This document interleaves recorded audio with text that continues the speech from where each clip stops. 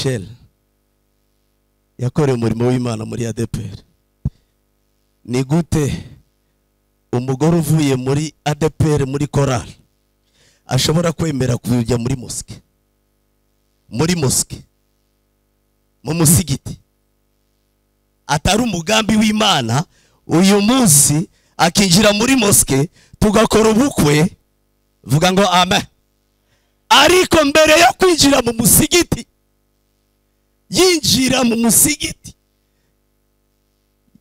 Yaranguruye ijwi. Aravuga mu izina rya yesu. Aho murumva ibyakurikiye? Ese nakomeza kuvuga? Murumva ibyakurikiye? Habayeho ambuteyaje yanga amahame. Yanga kwatuzwa. Yego? Yanga amahame ya muhammad. Aravuga agenda aguma kuri yesu. Ariko ngenda ababwira ati abarimu barahari bazamwigisha. Ubukwe buratambuka. Umugore wanjye ubu ngubu. Uyu munsi ni mama revera. Ariko yarabiharaniye yarabiharaniye. Vuga ngo amen. Ariko tubayahe icyubahiro. Aravuga ati oya ngewe sinemera amahame. Oya mfite yesu namenye. Mfite yesu nakoreye ntago nemera amahame. Ambuteyaje iraba barasezeranya bamaze gusezeranya. Turasohoka mu musigiti dukora reception isanzwe ariko ikintu cyakurikiye ni iki? Ikintu cyakurikiye ni iki? Nyumviriza baraje baram- baramwigisha aravuga oya njye hari uwo namenye. Ibyo byaratambutse ariko noneho intambara ayigumamo mu rugo. Ubwo yari mariage. Yagize agahinda kuva mu munsi wa mbere. Kuva ku munsi wa mbere. Agahinda gakomeye. Ariko icyo nkundira yesu. Yesu yaramushigikiye. We yaragiye afata abakozi b'imana benshi akajya binjiza mu rugo ye nkamwirukana akarara hanze nk'iminsi itatu. Kubera ko ntabwo nshaka ko bamvangira. Haleluya nyuma yaho haje ibihumbi bibiri na gatatu. Uwari umuyisilamu yinjiye mu nzu y'imana.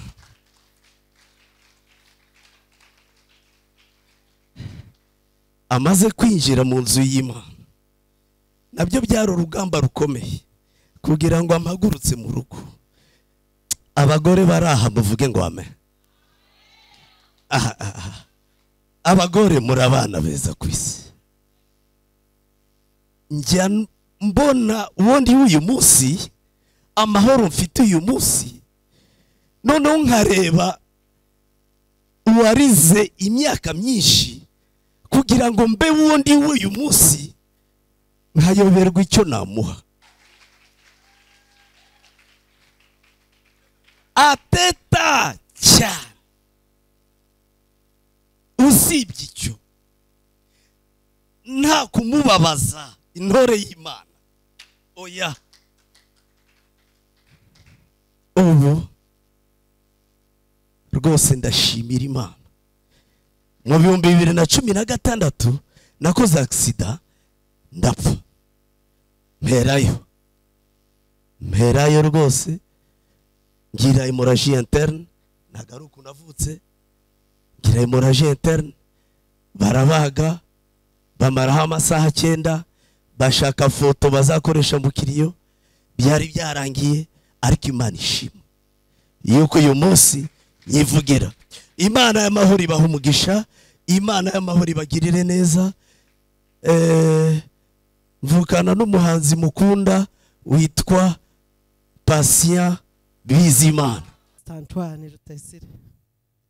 Rutayisire afite imbuto imurimo idasanzwe. We ntanyibuka ariko genda mwibuka cyane. Nta munyamateka muri iki? Nabyaye abana icumi. Ariko kugira ngo bige byabayemo no kwenda gusara. Ariko imana ishimwe ko bose bize. Antoine wari uri muri aee nza ngusanga. Bambwira ko uri umugabo mwiza. Bambwira kugira neza. Ndavuga nti reka njyewe uri umukozi w'imana by'ukuri. Yewe ni imena mugabo koko? Icyo gihe naramusanze mu biro bye mubwira ikibazo nari mfite. Yari minerivare zabuze.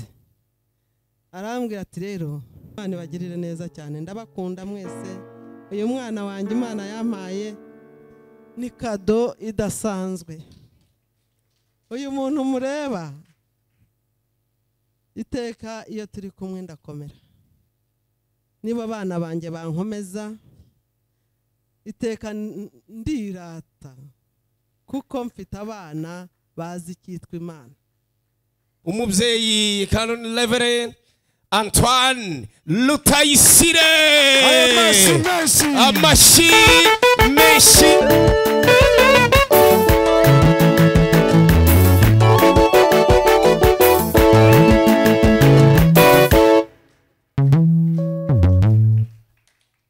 aha turakomeje rero tugiye guhereza impano umuntu wamugiriye umumaro cyane muri iyi gurupe aba bantu turimo turasoma ni abantu b'ingenzi cyane.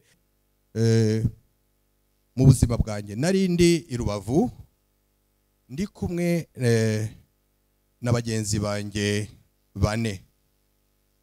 Twari tuvuye isafari ya kure dushikira i rubavu noneho turavuga ngo kigali hashize imyaka ine tutagerayo twihangane bisi ya mbere igera i kigali. Ariyo tugendamo tugera i kigali. Mbwira abo twari kumwe nabwo ati ibyo byose birashoboka. Ariko muze dupfukame dusenge. Tubisabe imana. Imana irabiduha. Muntege amatwi neza. Baranyumviye turapfukama turasenga. Kugira ngo tube aba mbere i kigali. Bisi ya mbere ivuye i rubavu aba ariyo itugeza i kigali. Byitwe ko tugeze i kigali turi aba mbere. Twarapfukamye turasenga tumaze gusenga turazinduka duhagarara muri gare ya rubavu. Nta bisi zari bwaze gupakira. Iya mbere yaje gupakira twayishyizemo ibikapu byacu. Kumvoyeri arabijugunya aravuga ngo ntabwo atwara abantu bafite ibikapu ngo aratwara abantu badafite imizigo. Noneho bagenzi banjye baravuga ngo reka tuyijyemo ku nguvu. Ndababwira toya iyi ntabwo ari iyacu. Iyo twasabye nta mahana arimo. Iby'imana nta mahana abamo. Amen. Imana imuha icyubahiro.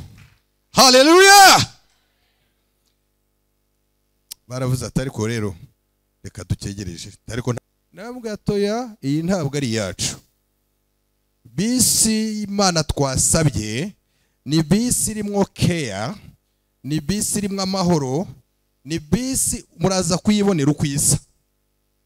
Ngo ariko nubwo uvuga iyo bisi ntabwo turi bube tugezeyo bwa mbere. Ndavuga ati iryo ni ibanga ry'imana twebwe twasenze. Reka dutegereze. Amen. Iyo yaragiye na yo. Hazi iya gatatu. Konvoyeri arahagera asingira ibikapu byacu abipanga neza. Arabipanga abipanga muri bisi neza. Mbwira ba bandi ati dore iyacu ngiyi dore iyacu. Yaba iyacu siragerayo ubwa mbere. Ndababwira ati ariko nyamara kugerayo ubwa mbere ni ibanga ry'imana. Na ariko twebwe twasenze kandi imana twasenze ni imana yumva ni imana itabeshya ni imana itica amasezerano. Mwebwe nimutegereze murarambirwa kubera iki? Nta nubwo muzi n'ikiri imbere isegonda imwe. Baratuza. N'abarushaga ibigango n'agatege baranyumvira. Noneho bigeze aho ngaho ya bisi iradutwara. Turahaguruka turaza. Tugeze mu kamira ya bisi ya mbere dusanga yinjiye mu gikamyo cyaje kurangura ibirayi abantu bose bapfuye. Babireba n'amaso ndaceceka ndabihorera baryana inzara batinya kumvugisha ndaceceka. Turagenda. Ntihasigaye imwe imbere. Tugeze kuri basin muri rya korosi kuri ka kagezi uhita utunguka ku ntuzi. Bisi iragenda itoboka amapine abiri. Iyoba muri wa mugezi gwa hepfo duhura na ambirasi ziko ziratunda abantu zibatwara mu bitaro abajya za butaro abasubira inyuma baryana inzara. Ndaceceka ndabihorera. Ya yindi yacu iraridinga irakomeje. Tugera i kigali turi aba mbere. Haleluya ubuhamya mu bwakire. Turasenga iyo dusenga ariko gutegereza bikatuvuna. Ariko nagira ngo kubwire ngo niba wasenze ukaba uzi ngo wasenze. Hagarara aho ngaho uvuge ngo imana nabwiye yumvise reka ntegereze ahubwo ime kubona ibisubizo byayo. Amen? Twageze gare yari ikiri kwa rubangura hariya murayibuka.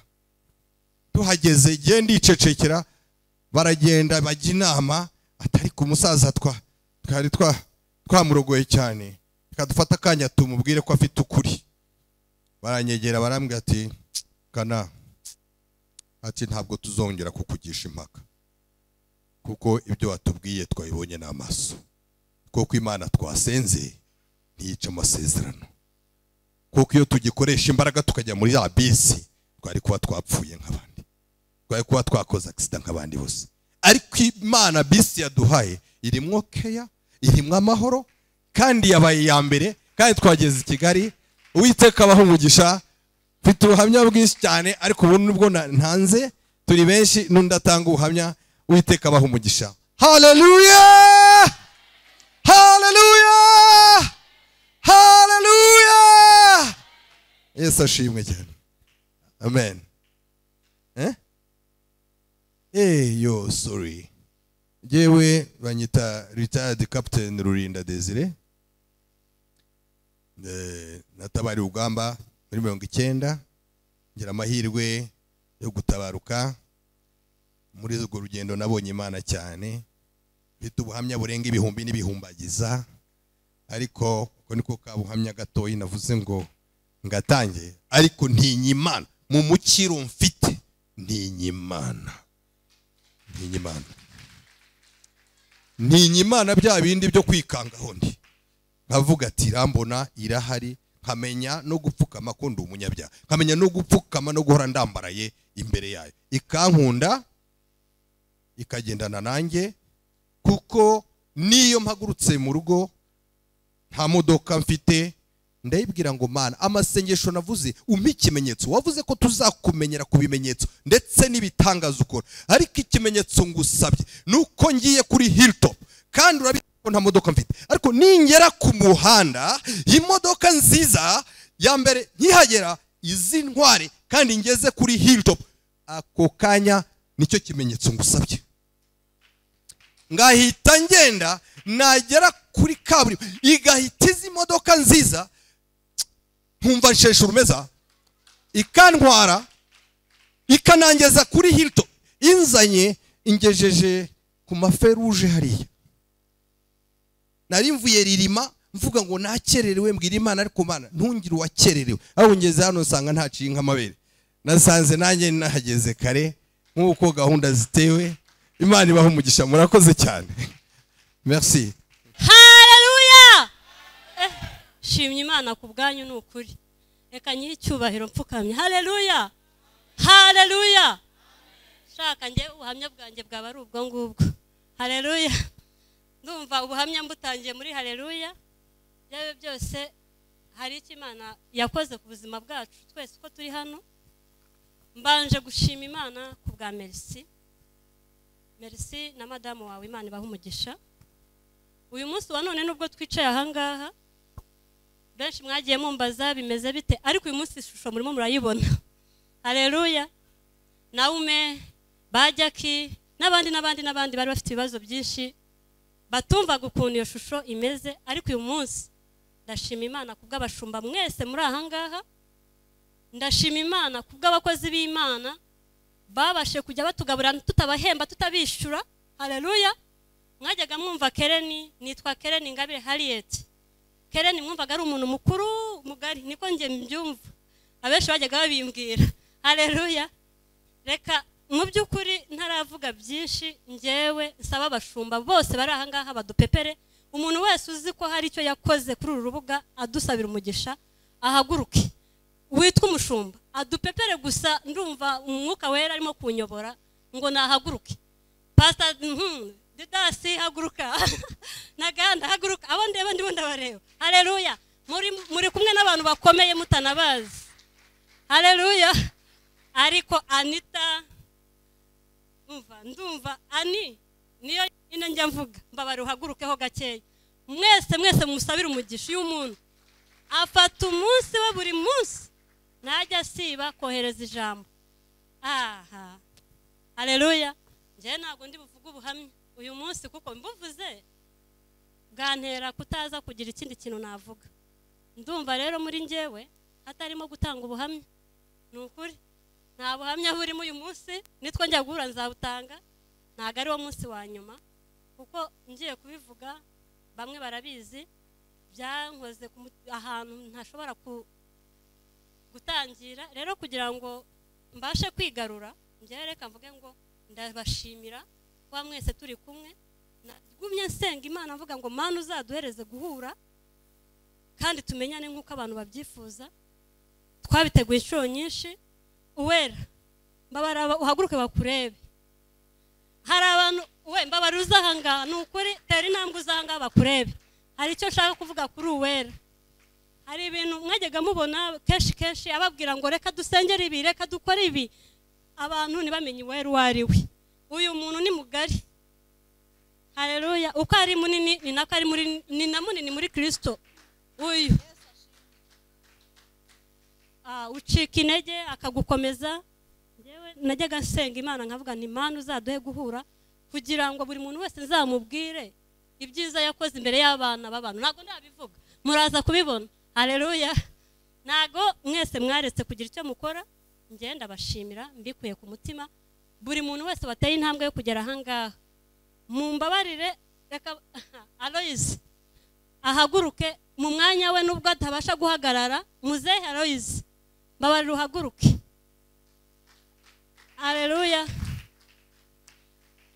mumbabarire ahagurukeho gatoya mumurebere hariya ashobora kuza kugira icyo abasangiza mu kanya gatoya ariko kuba yabashije kuzamuka aya mayesikariye ngewe ubwanjye mpaye imana icyubahiro. Mpaye imana icyubahiro? Sinzi ukuntu nabivuga ku bwanjye ndumva naturika nkarira kubw'uriya musaza. Ariko ndashima imana yakugejeje ahangaha hari impamvu. Igihe duheruka kujya guhemba umuyobozi wacu twari kumwe nawe benshi yadusangijeho gakeya ku buhamya. Rero yesu ni mwiza. Buriya hari impamvu atabashije kubivuga n'ubu bazi kubera iki? Ariko twe bamwe yadusangijeho. Ubwo nuza kubikenera uze kumwegera umubaza uti ko mfite amatsiko. Yesu ashimwe cyane. Hararuya yesu wacu ahimbazwe cyane. Reka nakira umukozi w'imana didasi nawe aza dusuhuzeho mu magambo makeya hanyuma mu mwanya uri bukurikire ndababwira ikindi kiri bukurikireho turakwakiriye yesu aguha umugisha uze udusuhuzeho.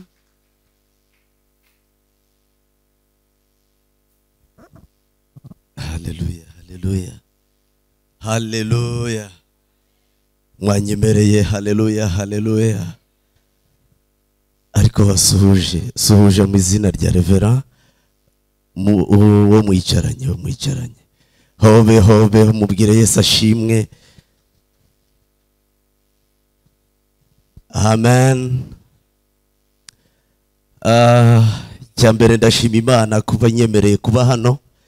Ntabwo byoroshye ni inshingano nyinshi umuntu aba afite ariko imana ishimwe. Icya kabiri ndashimira abayobozi b'iyi gurupe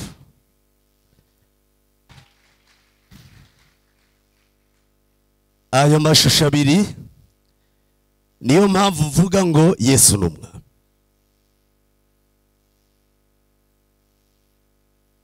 yesu ni umwami. Kubera ko yasogongeje ijambo ryo muri yohana gatatu cumi na gatandatu.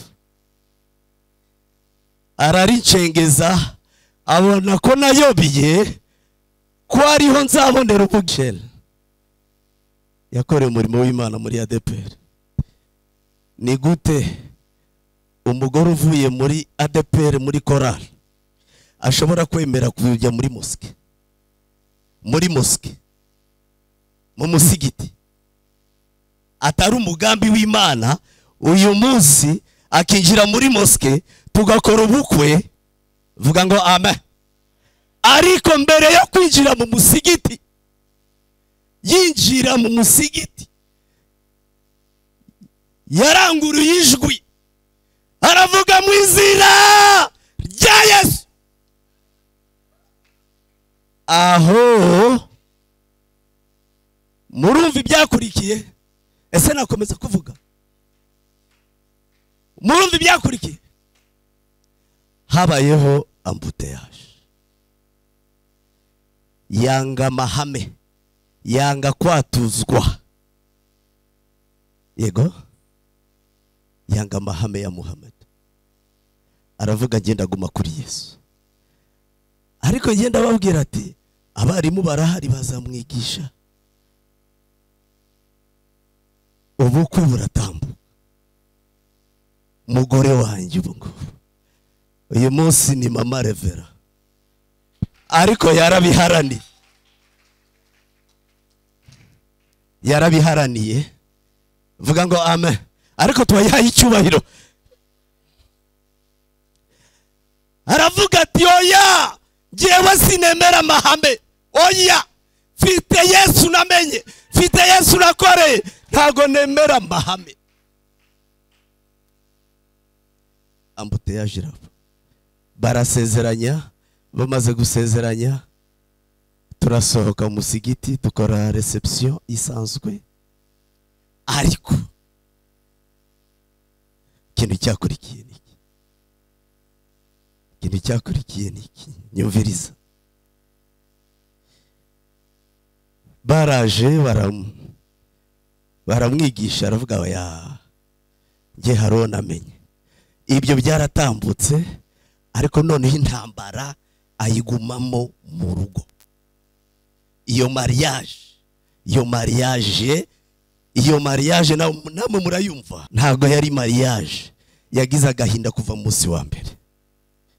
Kuva ku munsi wa mbere agahinda gakomeye. Ariko icyo nkundira yesu. Yesu yaramushigikiye we yaragiye afata abakozi b'imana benshi akajya binjiza mu rugo ye nkamwirukana akarara hanze nk'iminsi itatu. Kubera ko ntabwo nshaka ko bamvangira. Haleluya nyuma yaho haje hashize imyaka ibiri kuva uwo munsi yatangiye yatangiye amasengesho akomeye. Afungura icyumba iwanjye nkajya ndara mu nzu. Ntazi ko abayumbi barimo bararara. Batogota batogota basenga ari njye bari kubohoza. Haleluya ndashima imana ko mu bihumbi bibiri na gatatu ibihumbi bibiri na gatatu. Uwari umuyisilamu yinjiye mu nzu y'imana.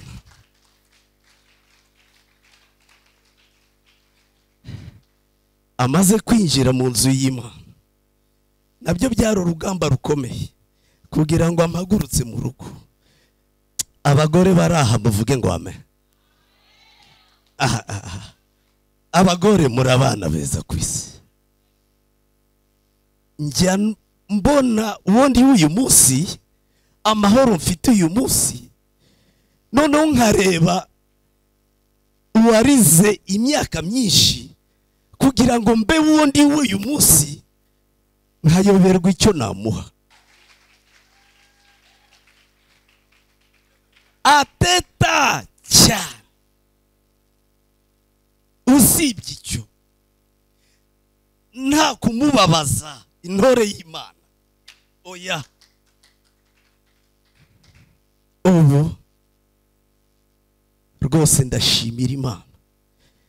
Yari couple mbi mu isi ya tenebre ubu ndi mu bantu bafite couple nziza muri iki gihugu. Ndi mu bantu bigisha couples zananiranye hano. Uwo muhamagaro ndawufite. Muri iki gihugu. Rwose imaze gusana couples imana imaze gusana inkoresheje couples cumi n'umunani. N'izi stati ziresitora couples. Status simple. Kubera ko hari abantu batumva ko umugore ashobora gupositinga kubera ko umugabo atashobora guteta n'umugore we ati kuri siteta ntashobora kugaragaza akamwishimira muri an- anniversaire. Agashobora kumukadona. Agashobora abagabo bari aha mujye mukadona abagore banyu. Ni ukubaha impano. Reka mbabwire. Aba badamu ni abana beza ku isi. Ni abakozi b'imana. Kandi bafite umutima. Bafite imitima yoroshye. Gusa imana ishimwe. Nabahaga ishusho yo ya isilamu uyu munsi. Nkaba ndi kubwiriza nka reverande imana yagize neza. Ya dekararasiyo nyuma yo kwatura nyuma yo guhindura habayeho intambara nyinshi. Habayeho reklamatio habayeho guhamagarwa habayeho gukururana habayeho ariko imana ishimwe yuko imana yangiriye neza. Ya mariage yari yarapfuye nongera gukora indi mariage ya restauration muri yesu kirisito yaratanze umusaruro. Ndimo ndatangaza. Ndimo ndatangaza. Ndimo ndahamya icyo imana yakoze. Mu bihumbi bibiri na cumi na gatandatu nakoze agisida ndapfa. Mperayo. Mperayo rwose. Ngira hemoragie interne. Ntabwo ari ukuntu navutse ngira hemoragie interne. Barabaga. Bamaraho amasaha cyenda bashaka foto bazakoresha mu kiriyo byari byarangiye ariko imana ishima. Yuko uyu munsi nyivugira. Imana y'amahoro ibaha umugisha imana y'amahoro ibagirire neza. Eh, mvukana n'umuhanzi mukunda witwa patient bizimana. Papa umwe mama umwe. Ahuri hanyuma niyicarire. Makumyabiri na kabiri hanyuma mirongo itatu wahera mirongo itatu na karindwi kageza mirongo itatu n'icyenda. Mwadusomera hanyuma nkajya kwicara.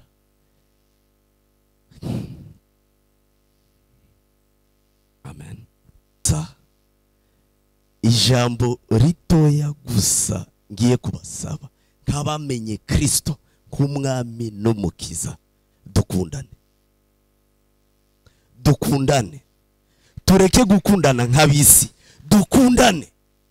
L'amour du prochain l'amour profond urukundo rw'umwimerere rwa kirisito dukundane. Imana izatugeza kure. Amen.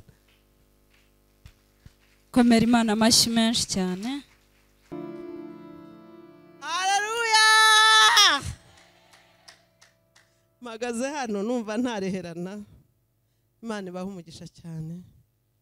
Umuhungu wanjye manzi imana uri umuzi ukomeye.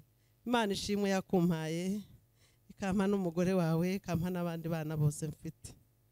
Nanze ko bamvuzeho ni cyo gihe cyanjye cyo kugira ngo ngire icyo mvuga. Pasita antoine rutayisire. Rutayisire afite imbuto imurimo idasanzwe. We ntanyibuka ariko genda mwibuka cyane. Ni munyamateka muri iki. Nabyaye abana icumi. Ariko kugira ngo bige byabayemo no kwenda gusara. Ariko imana ishimwe ko bose bize. Antoine wari uri muri aee nza ngusanga. Bambwira ko uri umugabo mwiza. Bambwira kugira neza. Ndavuga nti reka njyewe uri umukozi w'imana by'ukuri. yewe ni imena mugabo. koko? Icyo gihe naramusanze mu biro bye mubwira ikibazo nari mfite. Yari minerivare zabuze. Arambwira ati rero nta baterankunga nkigira ariko hari umuterankunga ukomeye usumba abaterankunga bose. Arambwira ati ca bugufi ngo usengere pasita imana iguhe umugisha. Ufite imbuto y'imana idasanzwe waransengeye kandi koko imana yarashubije. Imana iguhe umugisha abana banjye bose uko ari icumi ni bazima kandi ni beza. Barize baraminuza.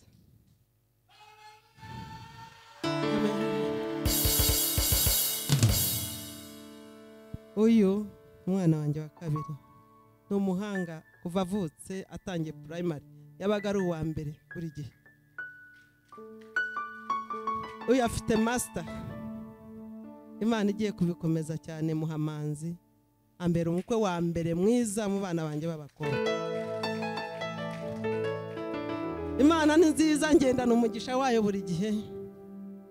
Nshatse kuvuga kuri antoine rutayisire. Ni umugabo udasanzwe ngewe yatangiye kwinjira mu giporoso ndeba. Ndi mu giporoso. Antoine winjiye mu giporoso gihindura isura. Imana ikomeze iguhe umugisha. Ukomeze udusabire tuzagere no mu ijoro imana ibagirire neza cyane. Ndabakunda mwese. Uyu mwana wanjye imana yampaye ni kado idasanzwe. Uyu muntu mureba. Iteka iyo turi kumwe ndakomera. Niba abana banjye bankomeza. Iteka ndirata kuko mfite abana bazi icyitwa imana. Bazi imana. Bose bazi imana. Hari umwana umwe wari usanzwe ataraba umurokore genda umukatolike muri rusange. Ariko uwo mwana wanjye ejo bundi yarambwiye ko azashaka kuri cumi na zirindwi kandi azasezeranywa n'abarokore. Azajya mu rusengero rw'abantu musaza w'aba bana mfite abahungu babiri n'abakobwa umunani. Ariko abo bana bo- bose mfite ni kado zidasanzwe barize bigana ubuhanga n'ubutwari kandi sinari umukire. Nimwumve ko ntari umukire. Nari umuntu ushakisha abaterankunga nari umuntu ugerageza uko nshoboye nkarwana urugamba no kugira ngo dutahe mu rwanda byari urugamba rw'uwiteka imana. Ikintu nakoze cya mbere cyabaye cyiza kuri jye ni uko nizeye imana ni uko napfukamye amajoro bugacya ariko imana ikansubiza. Ubu maze gushyingira abakobwa batanu.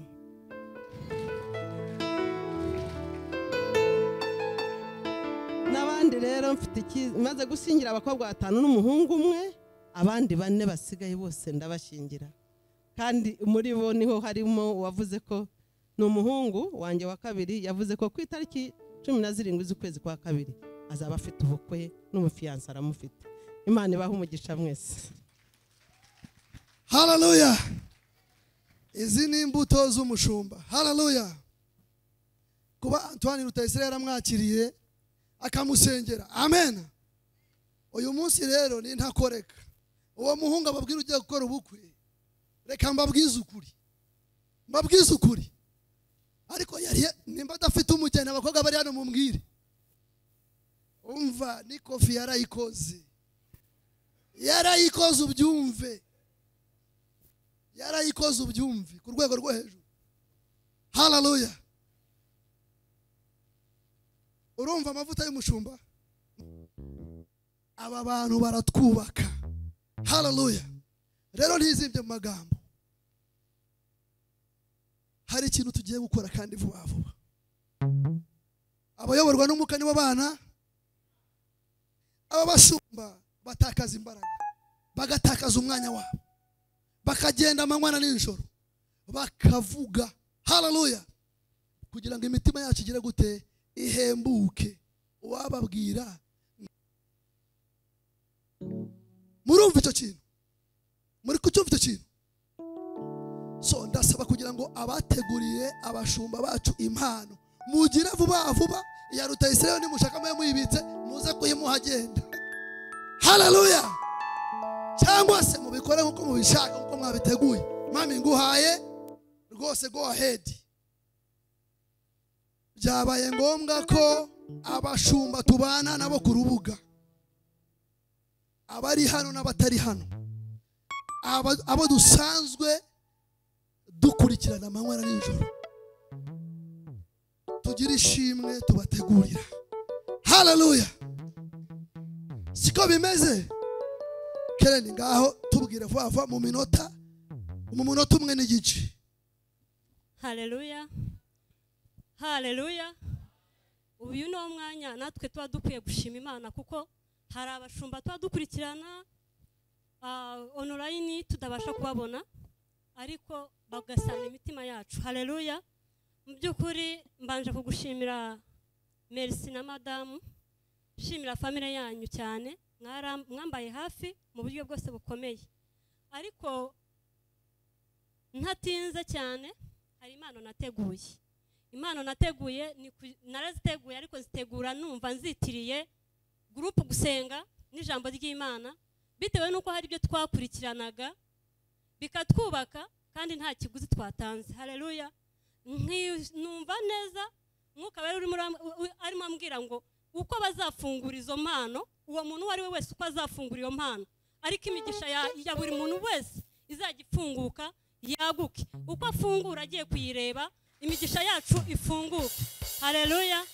Ndashima imana rero ko yampuje n'abashumba bose nifuje guhura nabo nubwo hari n'abandi batari ahangaha impano zabo nzazibajyanira ariko mfite intego y'uko buri muntu wese witwa umukozi w'imana nzamuha impano kuko hari byinshi nakurikiye bikanyubaka bikanafungura umugisha wanjye.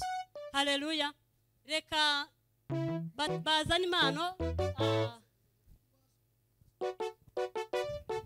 arakoze cyane. Reka uyu mwanya tuwukoreshe neza. Mu buryo bwihuse. Abanyarwanda baravuga ngo impeta isumbya izindi ni ugutakirwa mu ruhame. Mm. ndagira ngo nsabe ufite impano yagenewe manzi irene merci ayizane ayimushyikirize amashyi menshi cyane hanyuma dukomeza ah, kugira ngo ducunguze uburyo umwete. Eh, na mama, eh, mama julie nawe abe hafi. ah, nk'uko utambutse rwose. Iyawe na yo irakurikiraho kugira ngo ahari tukome amashyi. Bafate iyo foto y'urwibutso. Hanyuma kugira ngo byihute ufite impano ya mama julie ankundire n'ubundi atambuke. Yahaye umugisha pasita zigira inshuti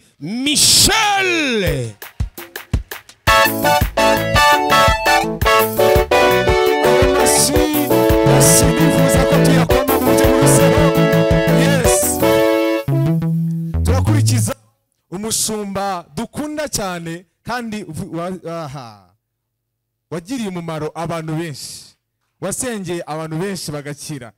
Wagize ikintu akora imana bamwita bishop felix irulinda.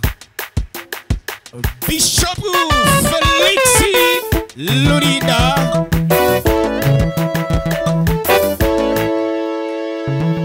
imana imuhe umugisha mwinshi cyane. Aha. Reka twakire.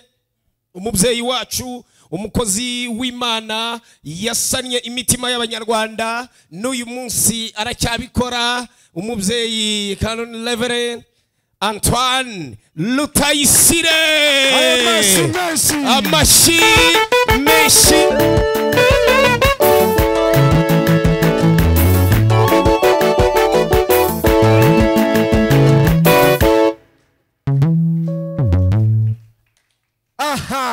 turakomeje rero tugiye guhereza impano umuntu wamugiriye umumaro cyane muri iyi gurupe aba bantu turimo turasoma ni abantu b'ingenzi cyane muri groupe. Reka dusome emeline. Iyo mpano rero irafatwa na madame merci kuko emeline ntawe uhari emeline tuguhaye impano mu izina rye uzamushimire cyane uzamubwire ko barikonayizinga barekonesa ubupfura bwe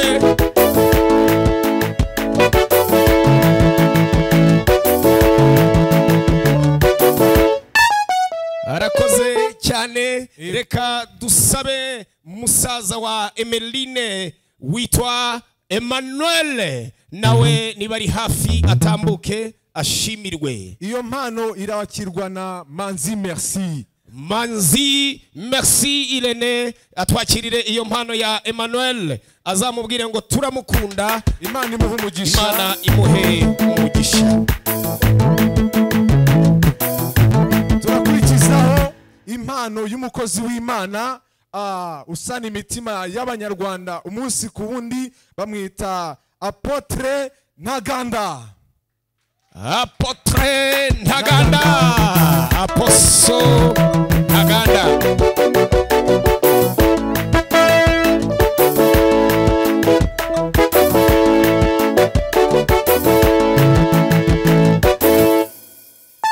muri aka kanya ndagira ngo mu nkundire twongere twakire umwe mu bagize uruhare mu kubaka imitima y'abanyarwanda abinyujije mu bihangano bye by'indirimbo zubatse benshi yitwa alexi dusabe.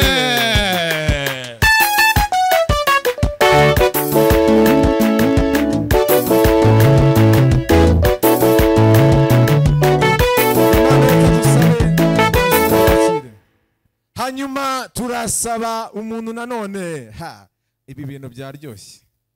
Umuntu yagiye mu mwuka babandi aravuga ngo birimo gu. Bamwita ah, prophète ernest. Profete ernest tumwakire mu mavuta imana yamuhaye. Haleluya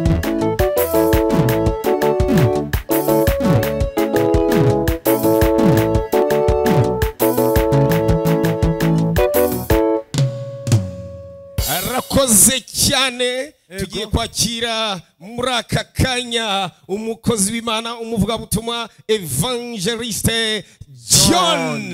Amashyi menshi cyane kuri evangeliste john. Tumwakire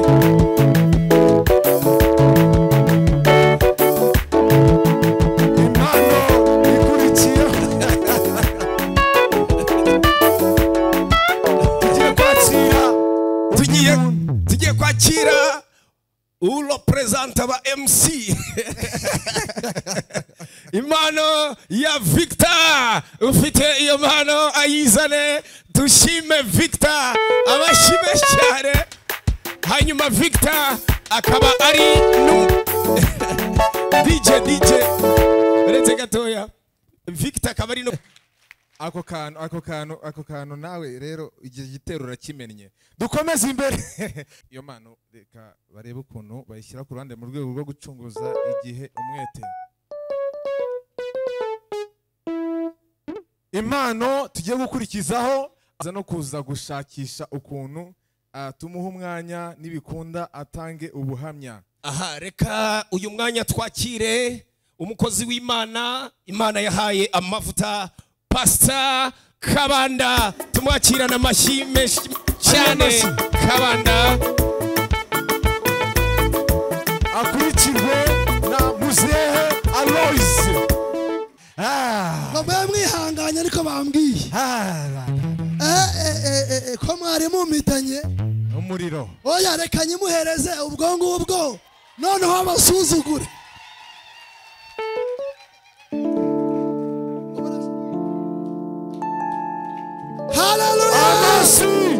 menshi ku muhanzi aline gahongayire agiye kutwinjiza. Ahantu haleluya yesu ashimwe.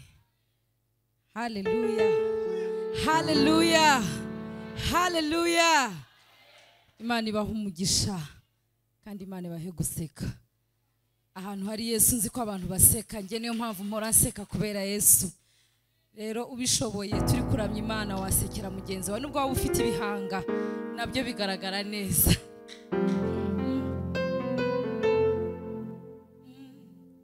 Uwiteka nje imbere yaciye bugufi. Mfite byinshi byo kukubwira ariko reka mpitemo kimwe. Si uko amarira yashize. Si uko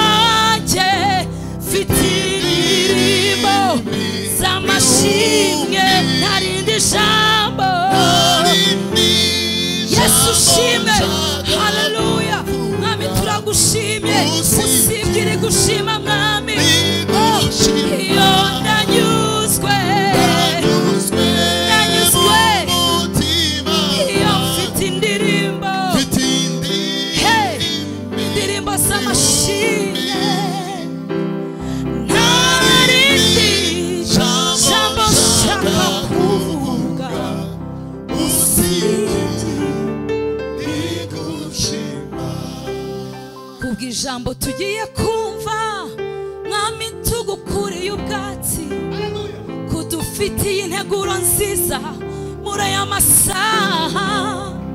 Mwami tugutuye imitima yacu uyihe kwakira ibyiza.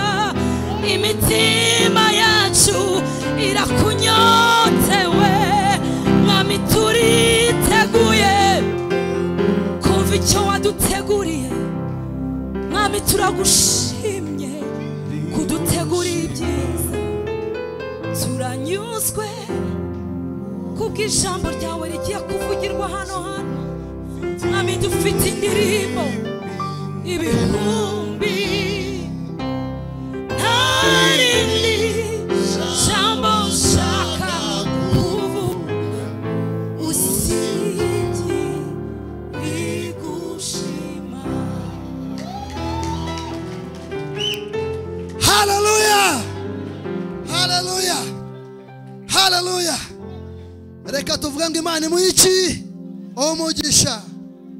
haleluya no kuba yasize buri kimwe cyose akaza kubana natwe. Imana imuha iki?